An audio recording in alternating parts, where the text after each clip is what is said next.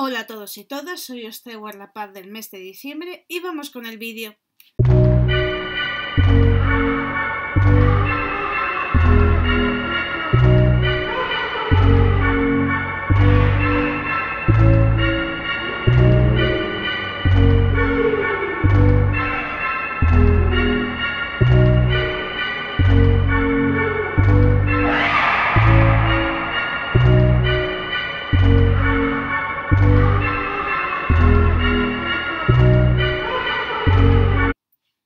Bueno, el primer libro que he leído este mes ha sido en digital, ha sido Telos Ribeira de Daniel Canos. Dejaré la portada por aquí y nos cuenta la historia un poco así paranormal de cuatro amigos que son entre ellos parejas, dos chicos y dos chicas, y nos cuenta la historia de cómo van a este hotel maldito y verán cómo empiezan a pasarles cosas bastante raras y que no tienen ninguna explicación. Es un libro que me ha encantado, se lee súper rápido además, creo que tiene unas 150 páginas, pero no por ello hace que sea menos interesante y está genial. También por otra parte he leído un libro de la biblioteca que ha sido Cuentos Macabros de Edgar Allan Poe, ilustrados por Benjamin Lacombe traducidos por Julio Cortázar de Del Vives, el tomo número uno. Tengo el número dos ya para leer de la biblioteca.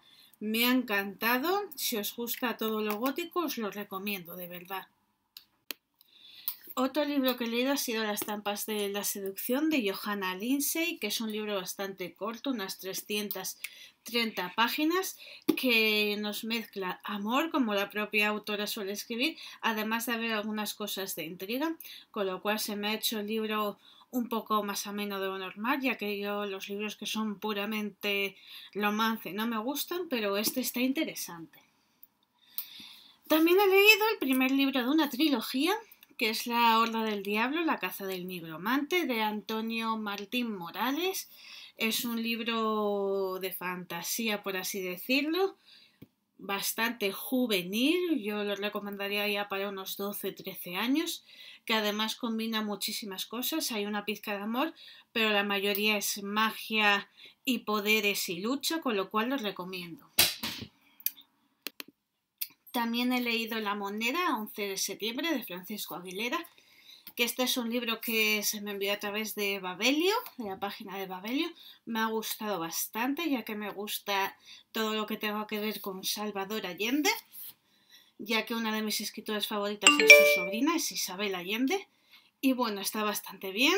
Cuenta la historia de cuatro relatos, por así decirlo, de cómo vivieron el golpe de Estado Salvador Allende y está genial. Más cositas que he leído. Este de pesadillas. Ahí ves la puerta abrirse, es mi gato. Seguimos después de la interrupción de mi gato. Pues decía este de pesadillas, regreso a Orlorlandia de R. Stein, libro cortito, donde este sería una continuación de un libro que se escribió antes que se llama Orlorlandia. Yo porque me lo había leído hace muchísimos años, pero no os recomiendo leer este sin haber leído el anterior, ya que si no, no entenderéis muchísimas cosas. También he leído Historias de Pesadillas, edición especial 1 de Redstein. Son no sé ahora cuántos relatos cortos. 2, 3, 4, 5, 6, 7, 10 relatos cortos de terror que se leen súper rápido, donde mezclan un poco de todo, terror puro y duro, visceral, fantasmas, un poquito de todo, y se lee además súper deprisa.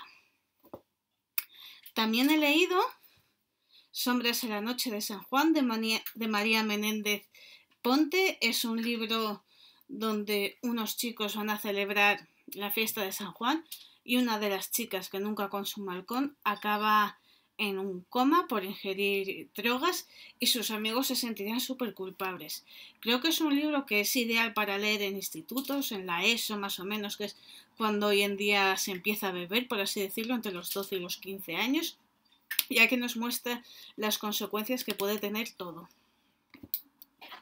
También he leído El infierno de Marta, de Pascual Alapont, que nos cuenta una historia de maltrato, de maltrato psicológico, sobre todo, que creo que está muy bien, también creo que es otra lectura ideal para la ESO, ya que nos muestra cómo se va haciendo todo poco a poco.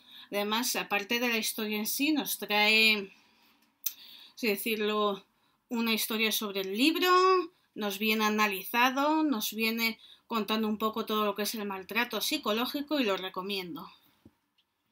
También he leído Narraciones Extraordinarias de Edgar Allan Poe en esta edición de Alma Clásicos Ilustrados, que viene cada narración ilustrado. Me ha encantado. Yo me empecé a enamorar a Poe de Poe o encontrarme con él a través de leer un manga que traía varias historias y bueno, pues me he conseguido leer todas estas, me ha encantado. Y en relación con este, también leí el volumen número 2 de Contos Macabros de Poe, que son varias historias de él y vienen súper bien ilustradas. A ver si encuentro alguna ilustración y así os la enseño. Ahí lo veis. Si no sois mucho de leer a Poe o tipo de historias de estas góticas, esta es una buena manera de empezar, este y el volumen 1 que ya os enseñé. Y bueno, voy a dejar aquí este vídeo. Todavía queda otra parte, ya que este mes he leído muchísimo, pero quiero dividirlo en dos partes para que no se haga tan largo. Así que hasta aquí el vídeo, como siempre espero que os haya gustado, que le deis a me gusta, suscribáis a mi canal y lo compartáis en todas vuestras redes sociales y muchísimas gracias por estar ahí.